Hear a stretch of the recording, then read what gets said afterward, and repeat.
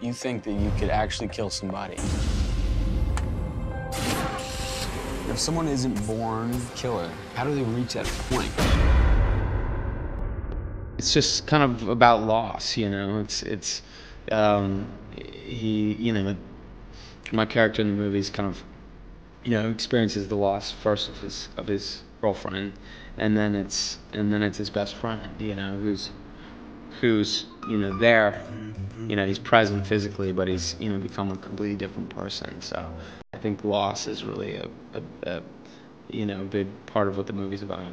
It's sort of a pretty accurate uh, portrayal of young young people and young love and and um, and all of the the insanity that goes with it.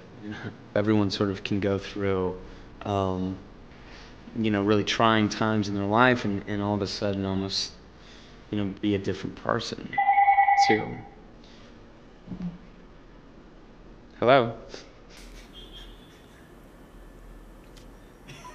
Right. I kind of like. Um, like all types of movies and all types of scripts, you know. Um, and haven't done. I've done mostly sort of like I've fallen into more like heavy dramas, darker stuff, and and that's sort of a product I think of, you know you, you know doing a series of them, and then it's like that's kind of how people see you, and those are the films that come your way, you know, and um, and and and they're great, and um, and I'm glad to, to um, you know, be considered for things like that. But um, I'm also uh, interested in lighter stuff, believe it or not. You know, comedy, um, and you know, I, I, like, I love a good like action movie. I mean, Terminator 3, you know, was I just thought was great and so much fun. Genre is, is sort of irrelevant when it comes to how how something's written or the quality of something, you know. In 20 years, there's probably like, you know, one or two movies that, you know, my daughter could watch when she was four, you know. Um, so it would be kind of fun to do something that she could actually see, you know, one day.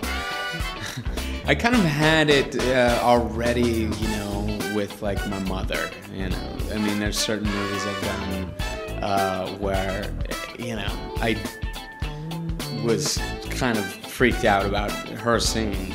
You know, um, movies she did see that I was like, oh god, you know, I did not want that to happen. Um, and um, you know, and she, great. She's like, you know, the most supportive, loving mother, and she's, you know, she's just totally petrified by the movie. But she's like, you know, it wasn't my thing, but you're amazing, or whatever, you know.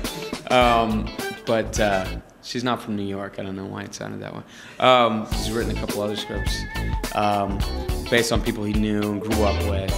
And in fact, um, the character, uh, you know, his, his, name is Chris in the movie, and is actually the actor is Chris Clark.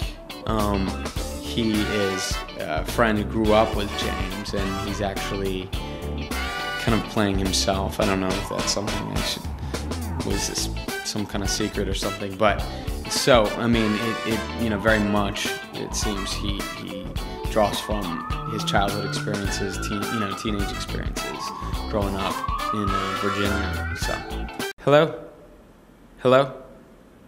Sorry? No, I'm sorry. You have the wrong number. Bye. I might have just lied to him. Um, I was honest though, I wasn't Dan Brown. Um, uh, what was I saying?